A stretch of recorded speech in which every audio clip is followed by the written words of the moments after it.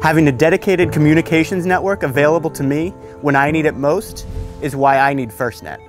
FirstNet is building the next generation of public safety communications. The FirstNet network will deliver broadband technology to first responders in urban, rural, and remote communities.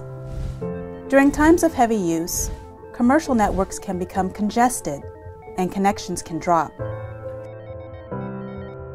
First responders will stay connected with a reliable broadband link to vital information, like photos and video of an incident, building plans, and even operational procedures.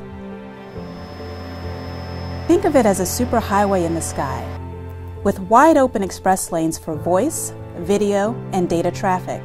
FirstNet, true priority for public safety.